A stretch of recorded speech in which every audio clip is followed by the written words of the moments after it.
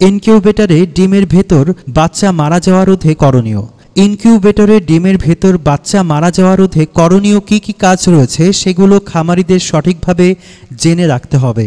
খামারে মুরগি পালনে ডিম ফোটানো খুবই গুরুত্বপূর্ণ একটি কাজ। অনেকেই ইনকিউবেটরের মাধ্যমে ডিম থেকে বাচ্চা ফুটিয়ে থাকেন।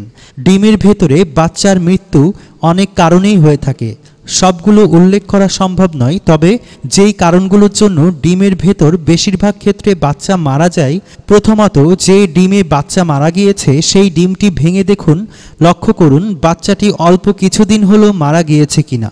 যেহেতু ডিমের ভেতর বাচ্চা বড় হয়ে মারা গিয়েছে, তাই সহজেই বোঝা যায়, ডিমের ভেতর বাচ্চা বড় হবার সাথে সাথে এমন কিছুর অভাব ঘটেছে, যার কারণ বাচ্চা ফোটার আগেই মৃত্যু হয়েছে। ভ্রূণ যখন বড় হতে থাকে, তখন সেই ভ্রূণের বৃদ্ধির সাথে সাথে সব কিছুই নিখুঁত পরিমাণে প্রয়োজন হয়। মনে রাখা উচিত, ভ্রূণকে শুধুমাত্র স্বাভাবিক নিয়মে বৃদ্ধি করলেই সেই ভ্রূণ বড় হয়ে নিরাপদে ডিম থেকে বের হতে পারবে। যদি কোনো কিছু স্বাভাবিকের চেয়ে ব্যতিক্রম হয়, তবেই সমস্যার জটিল আকার ধারণ করে থাকে। ইনকিউবেটরের ডিমের ভেতর বাচ্চা তৈরি করলেই হবে না। বাচ্চা সঠিক নিয়মে সঠিকভাবে বের হয়ে আসার প্রয়োজনীয় রসদ যোগান দিতে হবে, সঠিকভাবে। আর সেই রসদগুলো হলো সঠিক তাপমাত্রা, সঠিক আর্দ্রতা, সঠিক ভেন্টিলেশন ব্যবস্থা এবং সঠিকভাবে ডিম ঘোরানোর ব্যবস্থা। আর্দ্রতা আর্দ্রতা যদি বেশি হয়, তবে ডিমের ভেতর তরল পূর্ণই থাকে এবং ডিমের খোসা শক্ত হয়ে যায়।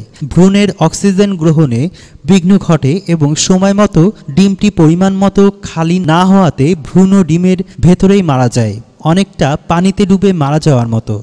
আবার আর্দ্রতা যদি কম হয়, তবে ডিমের ভেতর তরল দ্রুত শুকিয়ে যায়, ফলে ভ্রূণের বৃদ্ধিতে ব্যাঘাত ঘটে, যার কারণে ভ্রূণের মৃত্যু হয়।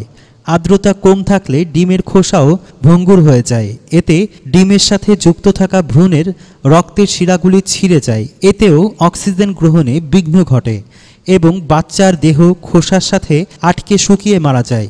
তাই আপনি লক্ষ্য করে দেখুন আপনার ডিমের ভেতর বাচ্চাগুলো কীভাবে মারা গিয়েছে। তাহলে বুঝতে পারবেন, মেশিনে আর্দ্রতা কম ছিল নাকি বেশি ছিল। আপনার ইনকিউবেটারের আর্দ্রতার পরিমাণ ঠিক করে নিন, দেখবেন ডিমের ভেতর বাচ্চা মারা যাওয়ার হার কমে যাবে।